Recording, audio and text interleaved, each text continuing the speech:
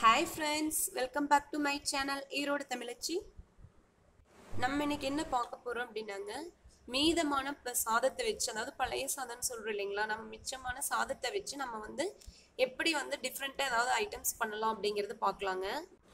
So ஒரு mixie ஜாரில் சீரகம் மிளகு ரெண்டு ஈச் ஒன் டேபிள் ஸ்பூன் கருவேப்பிலை கொஞ்சம் இஞ்சி சின்னதாக எடுத்து கட் பண்ணிக்கோங்க. ஒரு வரமிளகாய் பூண்டு ரெண்டு எடுத்து கட் பண்ணிக்கோங்க. சின்ன வெங்காயம் நாலு இதெல்லாம் சேர்த்து தண்ணி விடாமல் அரைச்சி எடுத்துக்கோங்க. ஸோ நம்ம இப்போ அரைச்சி எடுத்துருக்கிற எல்லாமே வந்து பார்த்திங்கன்னா ஒரு கப் சாதத்துக்கான அள மெஷர்மெண்ட்டுங்க ஸோ இப்போ வந்து வேறு ஒரு மிக்ஸி ஜாரில் வந்து பார்த்திங்கன்னா ஒரு அந்த ஒரு கப் சாதத்தை எடுத்துக்கோங்க. அது கூட ஒரு கப் ஒரு கரண்டி தயிர் ஆட் பண்ணிக்கோங்க. அதோட ரெ- சா சால்ட் ஆட் பண்ணிவிட்டு மூணையும் தண்ணி விடாமல் அரைச்சி எடுத்துக்கோங்க. இங்கே பாருங்க இப்போ அரைச்சி எடுத்தாச்சு. நம்ம அரைச்சி வச்சிருக்கக்கூடிய சாதத்தோட வந்து பார்த்தீங்க அப்படின்னா மூணு பெரிய வெங்காயம் எடுத்து சின்னதாக கட் பண்ணி வச்சுருக்கேங்க. ஸோ அந்த வெங்காயத்தை அதோட ஆட் பண்ணிக்கோங்க. அதோடு நம்ம சின்னதாக நறுக்கி வச்சிருக்கக்கூடிய கருவேப்பிலை கொத்தமல்லி இலை ஸோ அதோட வந்து பார்த்தீங்க அப்படின்னாங்க ரெண்டு பச்சை மிளகாய். நான் வந்து சின்ன சின்னதாக பொடி பொடியாக கட் பண்ணி வச்சுருக்கேன்.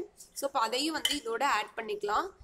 அடுத்து வந்து இதோட வந்து நம்ம அரைச்சி வச்சிருக்கக்கூடிய அந்த இன்க்ரீடியன்ஸ் இருக்குது இல்லைங்களா? ஸோ இப்போ அந்த இதையும் வந்து பார்த்தீங்க அப்படின்னா இதோட நம்ம ஆட் பண்ணிடலாங்க அடுத்தது சால்ட்டு அதாவது உப்பு வந்து பார்த்தீங்க அப்படின்னா எவ்வளோ உப்பு இனி வேணுமோ நம்ம ஆல்ரெடி சாதத்தோட அரைக்கிறதுக்கு போட்டிருக்கோம்.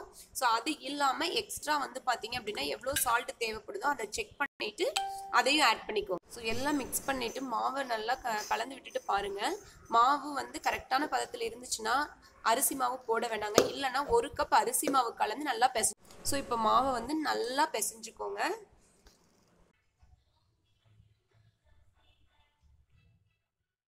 இப்போ ஒரு பாத்திரத்தை அடுப்பில் வச்சு அது லைட் ஹீட் ஆன உடனே தேவையான அளவு பொரிக்கிறதுக்கு தேவையான அளவு எண்ணெய் வந்து ஆட் பண்ணிக்கோங்க.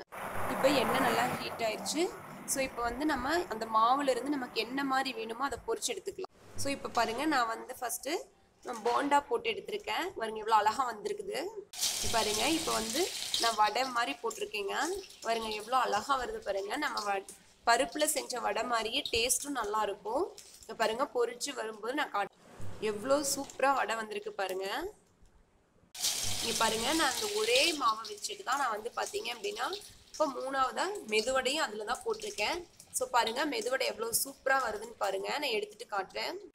அடுத்து அதே மாவுலிங்க நான் வந்து இட்லி மாதிரி செய்ய போகிறேங்க ஸோ அதுக்கு ஃபர்ஸ்ட் வந்து அந்த இட்லி பிளேட்டில் வந்து பார்த்தீங்க அப்படின்னா அடியில் ஒட்டாமல் இருக்கிறதுக்காக வந்து நல்லா எண்ணெய் வந்து தேய்ச்சி விட்டுக்கோங்க. ஸோ பாருங்கள் நான் எல்லா கல்லுலையுமே எண்ணெய் நல்லா தேய்ச்சிக்கிறேன். இப்போ நமக்கு இட்லி என்ன சைஸில் வேணுமோ அந்த அளவுக்கு மாவு எடுத்து அந்த பிளேட்டில் வச்சு எப்பவும் போல் வந்து இட்லி வேக வைக்கிற மாதிரி வேக வச்சு எடுத்துக்கலாம். அடுத்து மீதி இருக்கிற மாவில் கொஞ்சமாக தண்ணி விட்டு தோசை மாவு பதத்துக்கு கரைச்சி எடுத்துக்கலாம்.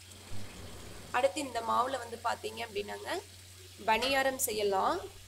ஆஸ் யூஸ்வல் நீங்கள் வந்து ரெகுலராக எப்படி நீங்கள் பணியாரம் ஊற்றுவீங்களோ அதே ப்ரொசீஜரில் நீங்கள் வந்துட்டு பணியாரம் வந்து ஊற்றி எடுத்துக்கலாங்க. சூப்பராக வரும். பணியாரம் நல்லா வருதுங்க. அடுத்து இதே மாவில் தோசை ஊற்றலாங்க எப்போது தோசை செய்கிற மாதிரியே செய்யுங்க. இந்த தோசை இட்லி பணியாரம் மூணுக்குமே வந்து பார்த்தீங்கன்னா தேங்காய் சட்னி நல்ல காம்பினேஷனாக இருக்குங்க. இந்த வீடியோ உங்களுக்கு பிடிச்சிருந்தா மறக்காமல் நம்ம சேனலுக்கு சப்ஸ்கிரைப் பண்ணுங்கள் ஷேர் பண்ணுங்கள் லைக் பண்ணுங்கள் கமெண்ட்ஸ் பண்ணுங்கள்